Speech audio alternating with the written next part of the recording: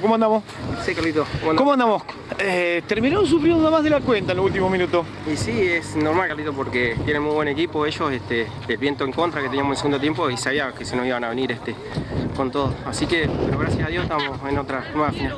Bueno, José, estamos hablando del equipo de la Loma, un equipo que el otro torneo, charlando con Rafa, charlando con otros muchachos, hemos dicho que no habían tenido la suerte o habían dejado pasar posibilidad. Parece que este torneo que arrancó no, de movida del campeonato a buscar mm, puntos, asegurarse los que estaban en condiciones de jugar, ¿no? Sí, gracias a Dios se armó un buen grupo con los chicos que venían de Viedma.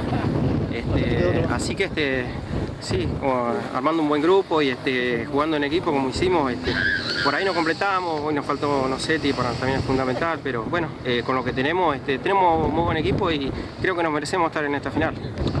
Bueno, cuando hablamos de este equipo, un equipo que eh, se buscó tener equilibrio, tanto en defensa, con Martín, en el mediocampo vos, eh, Héctor Currulén, bueno, en la delantera tenés eh, a muchacho de tenía a...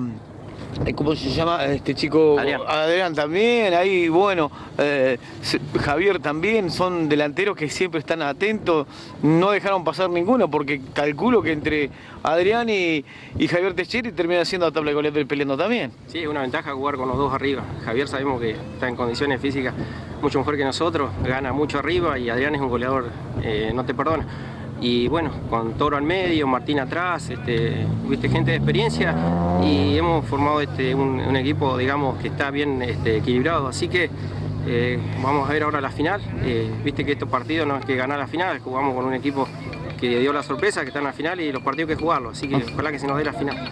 Eh, José, estoy hablando de, esta, de este encuentro ante Electrónica, primer tiempo no sé si lo sorprendieron, muchos entraron cabizbajo, lo madrugaban un 2 a 0 y decíamos, está, aquí ya es como que Electrónica se había quebrado en ese primer tiempo, pero de a poquito fue remontando. Sí, no olvidemos que ellos jugaron ayer, este, claro. muchachos, con la edad que tenemos, no estamos para dos partidos seguidos a veces, pero tienen muy buen equipo y era sabido que segundo tiempo con el viento y la calidad de jugadores que tienen no iban a arrinconar. Lamentablemente no pudimos aprovechar un par de situaciones que tuvimos para liquidarlo, pero eh, hicimos lo, posible y se terminó ganando. Este, y creo que ellos tienen muy buen equipo, así que también se merecían estar al final, pero bueno, se nos dio a nosotros también. Bueno, habrá que ahora eh, jugar la final con un equipo, como decís vos, como es el equipo de, de Las Grutas, un equipo también rústico que sorprendió más de uno, habrá que enfrentarlo, habrá que estar atento. Tiene lo suyo rústico también, ¿eh? Sí, sí, por eso te digo, los partidos y más una final, ellos se van a jugar todo.